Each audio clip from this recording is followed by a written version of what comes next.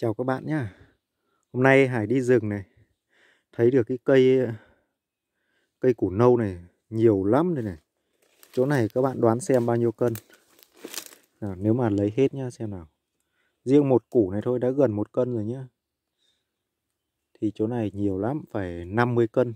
Chỗ này Thử xem đây là loại củ nâu gì nhá. Loại đỏ hay là vàng hay là gì? À Củ nâu đỏ đấy đây này. Đỏ đấy các bạn ạ đây là loại củ nâu đỏ. Thích nhỉ?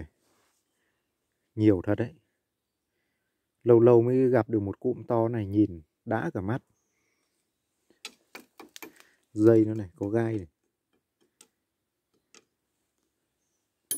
Leo lên mãi trên kìa. Đấy. Đang đi rừng thôi. Tìm cây thuốc. Gặp củ nâu này nhưng mà thôi kệ nó. Củ nâu này cũng ít người dùng cho nên thấy đây mà cứ để đây thôi, chả lấy về làm gì đâu. Lúc nào có ai cần đến thì Hải sẽ lấy về sau nhé bây giờ tiếp tục đi đây.